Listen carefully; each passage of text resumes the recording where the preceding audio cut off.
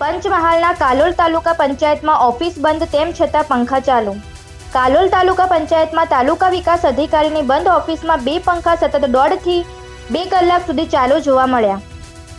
આવા દ્રશ્ય તાલુકા પંચાયતમાં અવારનવાર જોવા મળે છે. અગાઉ પણ તાલુકા વિકાસ અધિકારીની ઓફિસના બંને પંખા ચાલુ જોવા મળ્યા હતા અને ઓફિસ બહારથી બંધ જોવા મળી હતી. સરકારે કાલોલ તાલુકા પંચાયતનું લાઇટ બિલ માફ કરી દીધું હોય અથવા લોકડાઉનને લઈને કંઈક છૂટછાટ આપી હોય તેવું લાગે છે. રિપોર્ટર ભાવિનભાઈ પરમાર, કાલોલ.